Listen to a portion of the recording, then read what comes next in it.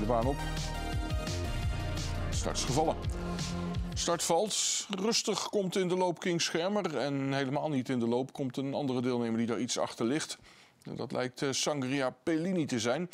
Die begon met een galopade. King Schermer sluit alweer aan bij de start van het veld. En Rotegat had gelijk. Hij zegt als ik met Jos Maza lopend weg ben, en dat is hij, heb ik King Schermer meteen naast me. Dat is nu het geval. King Schermer gaat voorbij aan Jos Maza, die nog steeds zoekend is naar de loop aan de start van het veld. En King Schermer is nu in het veld aanbeland. Paarden komen de rechte lijn voor de tribune. Straks nog twee ronden te gaan. Velten Bellagio heeft de leiding. Velten Bellagio, daarachter op plek 2 aan de relingzijde, volgt eh, Carl Bianco. Buitenkant daarnaast is Cash Winner onderweg. Achter Cash Winner ligt al King Schermer. Winner gaat doordrukken. Galopade daar van Velten Bellagio. Die verrast daar Dion Tesselaar met een fout. En zo komen die twee paarden nummer 1, 1 galop. die aan de buitenkant naast hem lagen hem zo voorbij. Leiding is overgenomen door Cash Winner. Opening was 21-2, maar daar komt King Schermer al aan. En King Schermer gaat de leiding nu overnemen.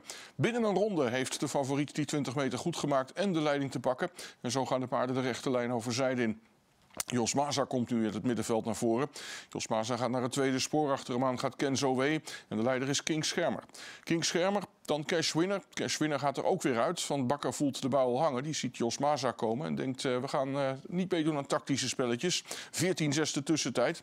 En zo gaan ze op weg naar de volgende bocht. En Cash Winner gaat er weer tussen. Was een plaagstootje wat hij daar uitdeelde. Leider blijft King Schermer. Cash winner op plek 2. Derde plek aan de buitenkant is voor Jos Maza. Vierde aan de binnenkant Carl Bianco. Vijfde in het tweede spoor Ken Zoe. Daarachter op de zesde plaats volgt Elisa Damour. En de zevende plek daarachter is voor uh, de aangesloten Sangria Pellini. Paarden weer in de rechte lijn voor de tribune. Straks nog één ronde te gaan. En King Schermer, net als vorig jaar, uh, ligt aan kop. Hier lag hij vorig jaar ook, alleen een ronde verder niet meer. En eens kijken of hij dat dit jaar wel gaat redden. Aan de buitenkant Jos Maza, die de controle heeft in het tweede spoor. Rotegatte kijkt een keer achterom en geeft even een update voor uh, de man die zelf ook al op het beeldscherm stond te kijken. Jaap van Rijn, 17 vijfde tussentijd. En zo gaan we in een wandeltempo die laatste 900 meter in.